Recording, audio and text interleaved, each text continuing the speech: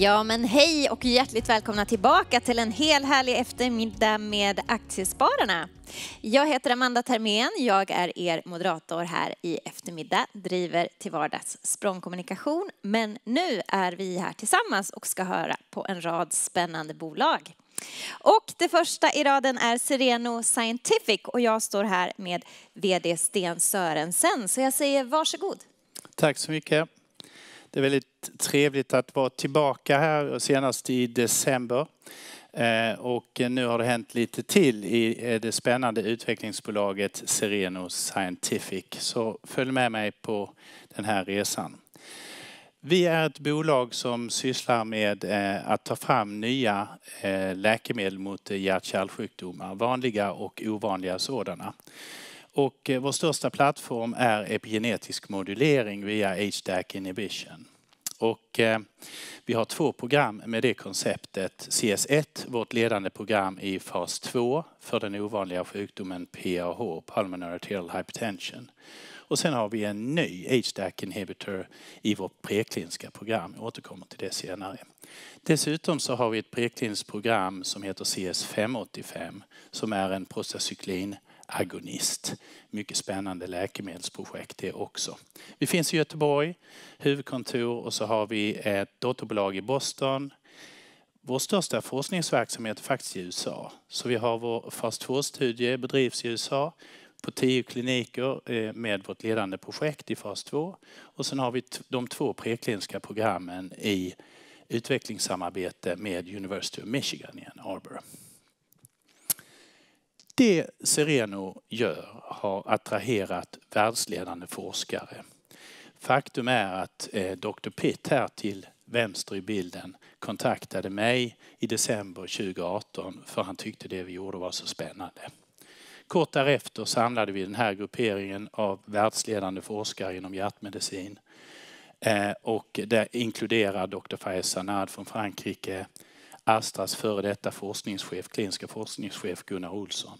Två personer från Harvard Medical School i Boston. Och det senaste tillägget är Dr. Raymond Benza som är verksam i Ohio men är en av världens ledande experter på pulmonary arterial hypertension. Han är också vår principal investigator för vår fas 2-program. Det här är de tre programmen vi kör. CS1 i fas 2, ovanlig sjukdom. Vi jobbar med att få den här studien igångsatt med första patient som vi väntar på och sen bli klar vid årsskiftet. Eh, och då har vi fas 2-data med CS1. De två prekliniska programmen har vi kommit halvvägs med när det gäller utvecklingssamarbetet med University of Michigan. Och i år så har vi i maj valt och nominerat Candidate Drug på båda programmen. Och det betyder att man väljer den substans som ska gå vidare in i en Investigational New Drug Application till FDA där man ansöker om att få lov att gå in i människa sen. Och det siktar vi på att göra till sommaren nästa år. Och sen startar vi en fas 1-studie på respektive program. Då har vi tre program i klinik för hjärt-kärlsjukdomar. Vi går till det första programmet, CS1. CS1 är en eh, speciell formulering av en HDAC inhibitor som heter VPA. Eh, vi kommer tillbaka till det senare. Och den studeras ju nu då i den ovanliga, mycket allvarliga sjukdomen pulmonary arterial hypertension. De här individerna eh, får ett för högt tryck i lungorna, i lungartärerna. Det byggs upp ett tryck bakåt som belastar höger hjärthalva och så småningom sviktar den hjärtsidan. Och tyvärr dör de här patienterna alldeles för tidigt. Ehm, och det behövs mycket bättre terapi för det här. Ehm, den här prognosen är i linje med cancer. Så att allvarlig sjukdom, ovanlig sjukdom, stort behov av nya läkemedel. Marknaden eh, för den som har läkemedel här eh, är cirka 10 miljarder dollar snart. Eh, och den är växande för det behövs bättre läkemedel samtidigt som också patientgruppen växer. Om man tittar på vilka läkemedel som används idag så kan man nästan säga att det är den gamla sortens läkemedel. Så som det var på hjärtsvikt förr i tiden. Det vill säga att man gör någonting enkelt med trycket eller volymen som avhjälper hjärtats arbete. Och de här läkemedlen som ni ser i den här cirkeln, finns lite olika sorter, de vidgar blodkärlen och på det sättet så minskar trycket. Och då kan man gå längre, andas bättre, men de gör egentligen ingenting för sjukdomsförloppets utveckling.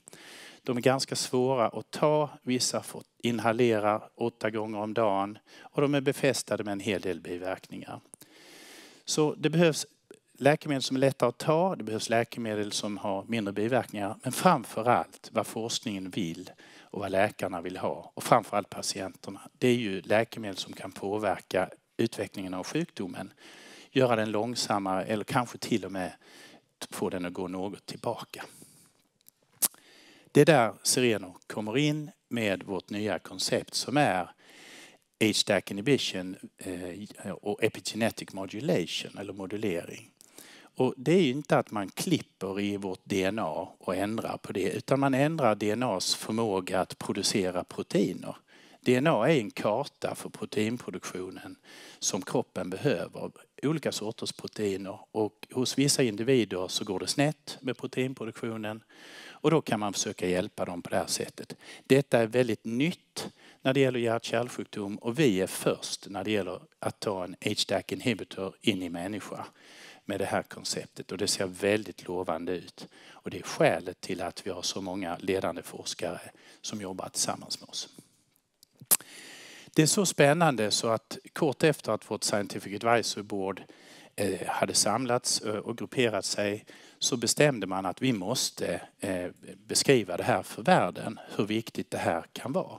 Så man skrev ihop, ett par stycken från vårt Scientific Advice Board skrev ihop en artikel om de viktigaste studierna som finns kring HDAC inhibition.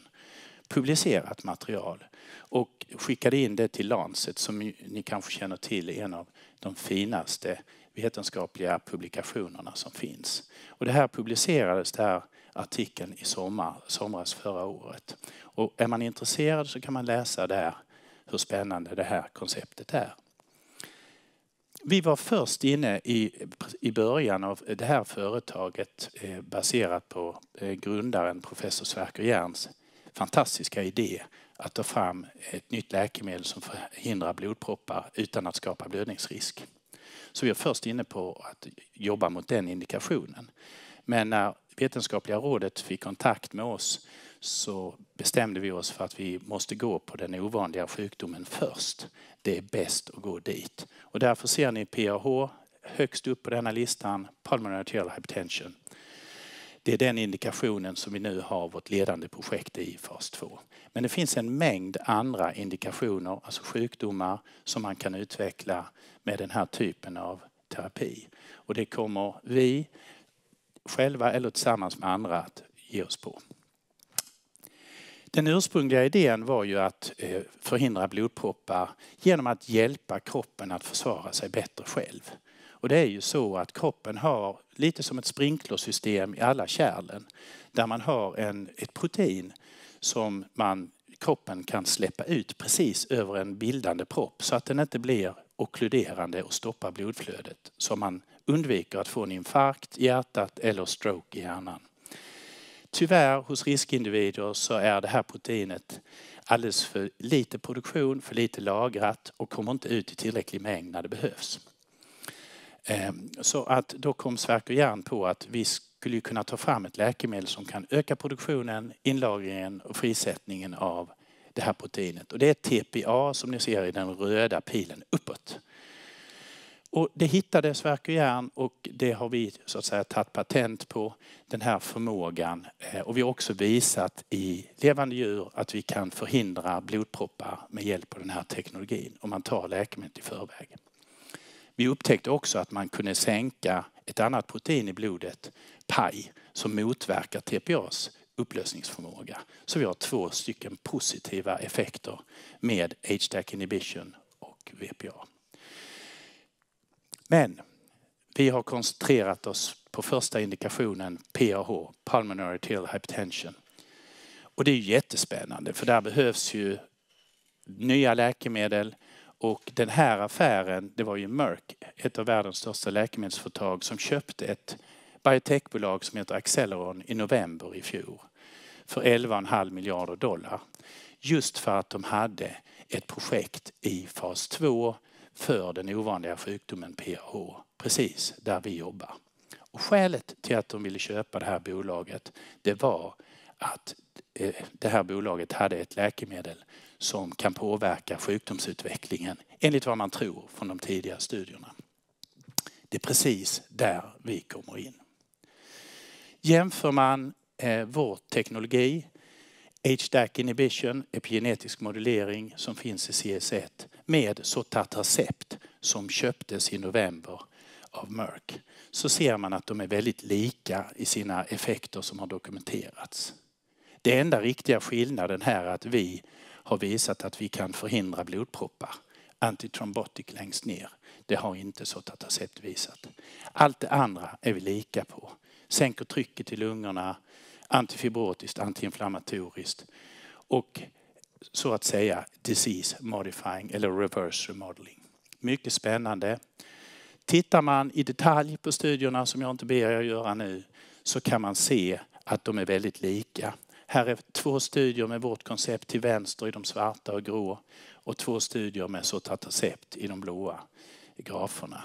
Och de visar på samma sak. Att om man ger de här läkemedlen till råttor, det är råttmodeller man använder, som utvecklar den här sjukdomen PAH, så kan man både förebygga om man ger den med det en gång, men som mer liknar kliniskt, få sjukdomen att gå tillbaka eh, om man ger det när de har blivit sjuka, råttorna. Och det är väldigt lika resultat med de här två läkemedlen. Så det finns en förmåga här till disease modifying eller sjukdomspåverkande effekter. Tittar vi på de läkemedel som finns på marknaden idag så är de ovanför den blå pricken där till vänster.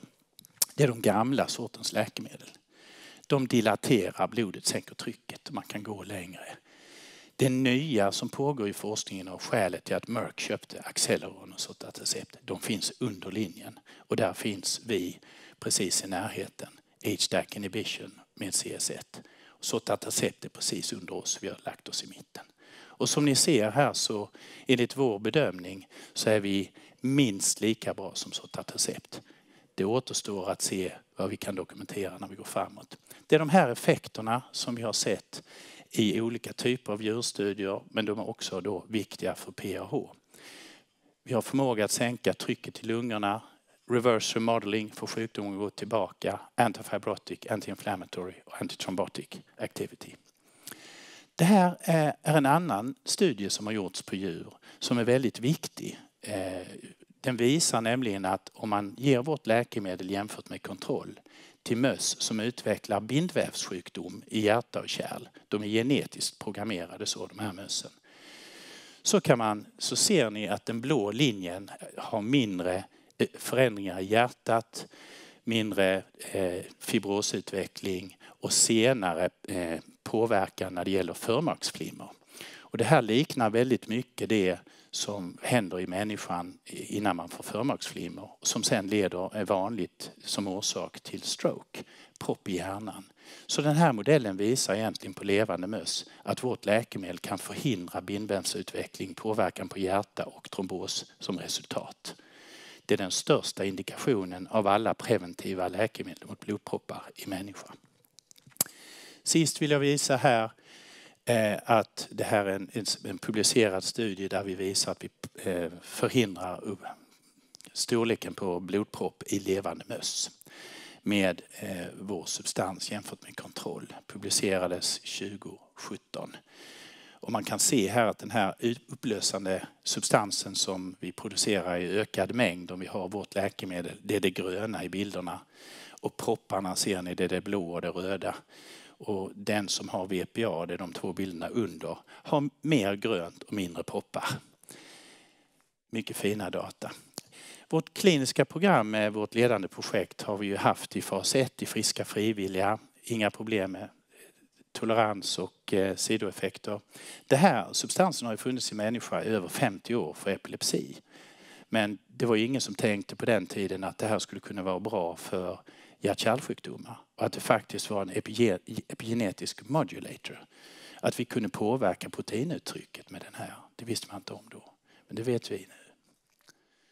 Vi är i klinisk fas 2 och eh, när den är klar så ska vi gå in och göra en 2B3, förmodligen den sista studien innan godkännande av FDA. Men först måste vi såklart göra vår fas 2-studie.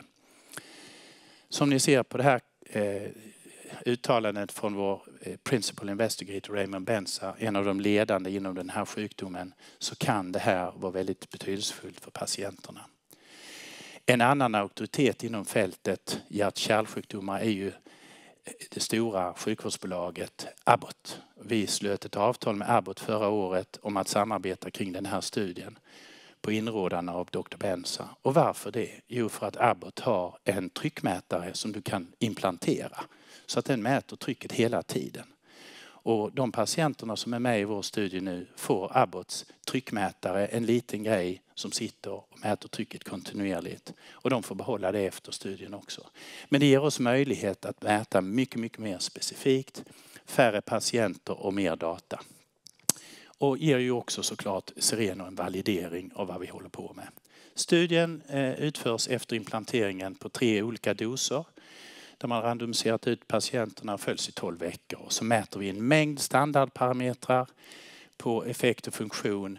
Men framför allt är det ju säkerhet och tolerans första gången man tar detta in i, i patienter. Men vi förväntar oss att kunna välja rätt dos när vi går vidare i nästa studie och eventuellt få andra spännande eh, uppgifter. Vi mäter eh, olika effekter på centrala labb och de här parametrarna visar vilken typ av mätningar vi gör. Det är inte allt, men bara visa upp det här för er. Låt oss gå till den prekliniska portföljen. Vi har två som jag nämnde. En ny HDAC inhibitor som är CS014 och då en prostacyklinagonist. Och de har vi valt CD, Candidate Drug Nomination, i år i maj. Så vi har ett år kvar i samarbetet med University of Michigan innan vi ska lämna in vår ansökan till FDA. Sen om vi får den godkänd, vilket vi tror vi får, så kommer vi att börja kliniska studier på de båda. Låt oss gå till den första. Uppfinnaren av den första substansen är faktiskt Mike Hollenstadt som är Director Translational Research för Sereno på deltid. Han är verksam vid University of Michigan. Men han har uppfunnit det här tillsammans med en eh, kemist från för detta Pfizer. Och det är ett mycket spännande program. Låt mig bara visa lite grann. Så att Mike Hollenstadt som han heter presenterade mycket spännande data på European Hematology Society eh, Association i Wien i söndags. Eh, så det här är nytt för er. Ingen annan har sett det här tror jag. Så att eh, med den här substansen så har eh, han har härmat kan man säga en egen substans när han har forskat fram CS585 som kan då hjälpa den här receptorn och det hjälper Eh, patienter. När vi väl kommer dit. Det här är ju djurstudier. Eh, men man har visat att man kan förhindra blodproppar med den här substansen utan att orsaka blödning. Och det är första gången det här har gjorts. Eh, och nu ska ni få se något spännande. Det här är tre videofilmer, en med kontrollgrupp, en med en låg dos och en med en hög dos.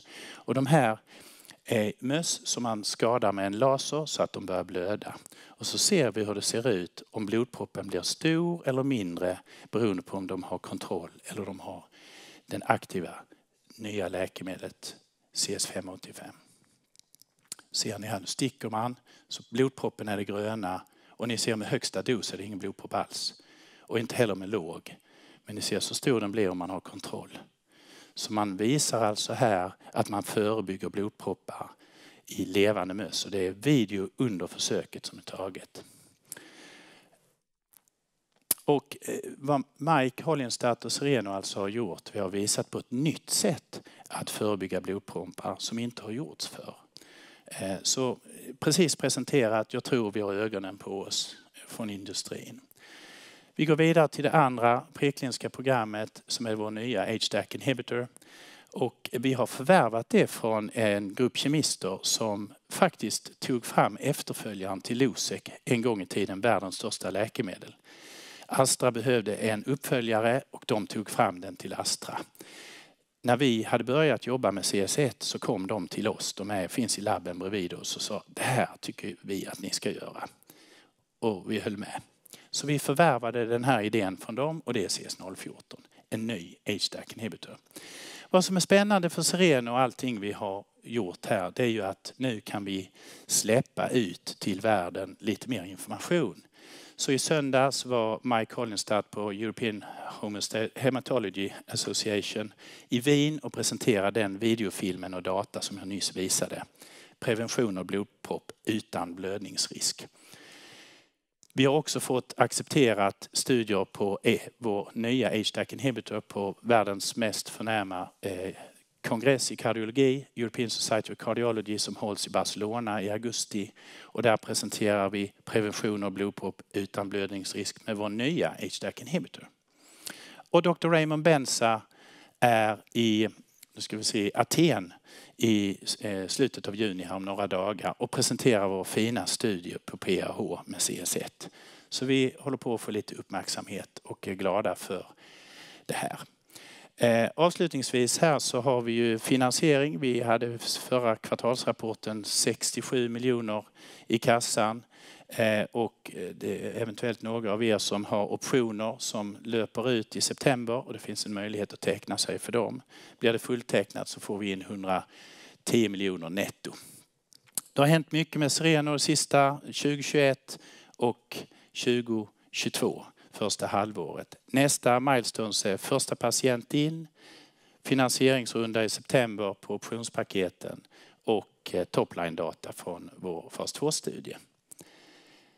Ja, jag konkluderar där. Det, jag hoppas ni tycker det här är spännande. Tack så mycket. Tack så mycket. En applåd. Tack, tack. Absolut spännande.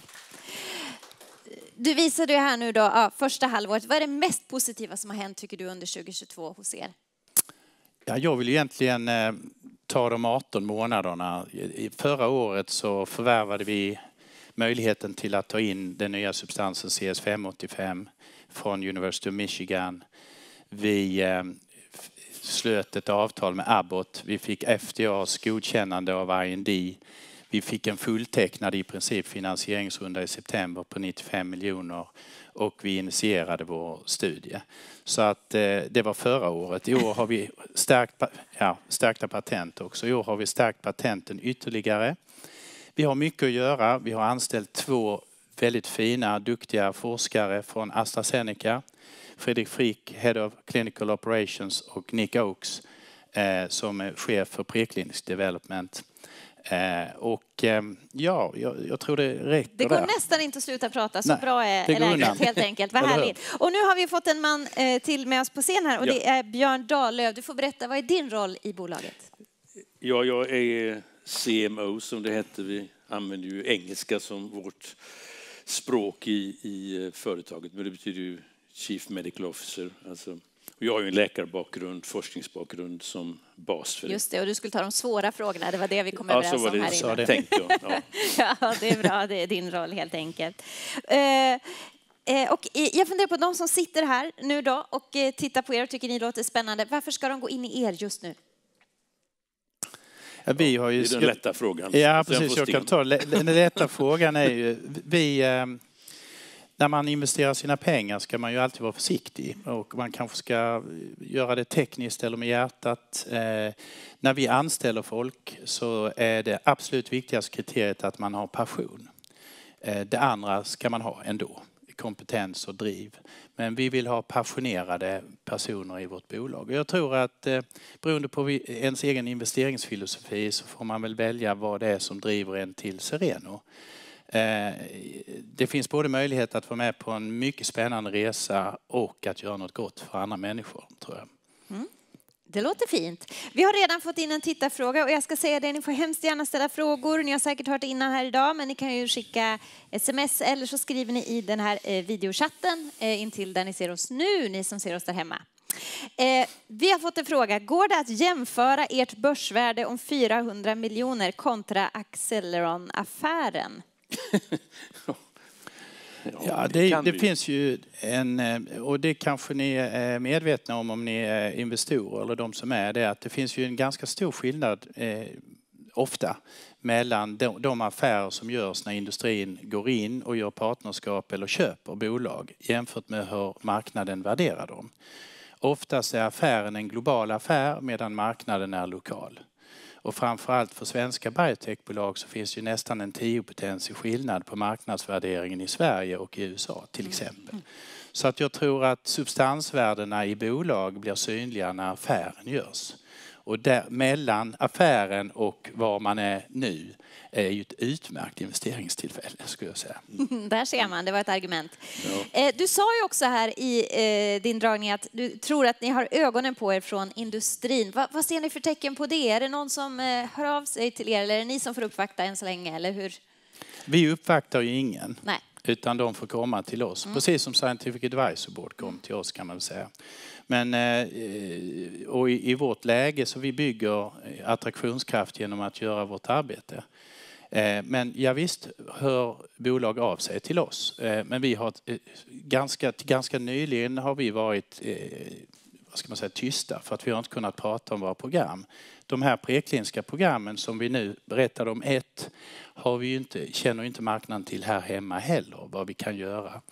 Och det som nu är accepterat i Barcelona är ju inte heller känt utan där får man hålla ögonen uppe för det. Men industrin bevakar kongresserna. Sen har vi fått en till fråga. Jag tycker att du, du nämnde det här lite på Outlook eller framtiden. När räknar ni med att få er första patient sota- sotatercept? Står det. Först, första, När räknar ni med att få er första patient sotatercept? Ja, vi har ju inte så Nej, jag så tror- det blir lite svårt Ja, jag vet inte det. riktigt. Nej, men kan, ni, kan ni försöka tolka vad de menar? Jag tror de undrar när första patient Den kommer in i vår studie. Ja. Ja. I vår fas 2-studie. Och kan- ja, det är, en, det är en bra fråga som vi inte har svaret på. Nej. Vi har ju hoppats eh, faktiskt att vi skulle ha haft första patient för nästan tre månader sedan.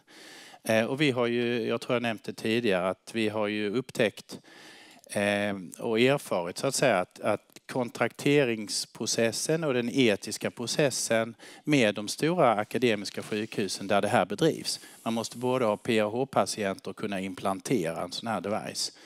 Och framförallt har patienterna, eh, svåra patienter. Så att, och den processen i sig är svårare i USA i efterdyningarna av pandemin. Mycket personal har lämnat, är nyanställda, processerna tar längre tid.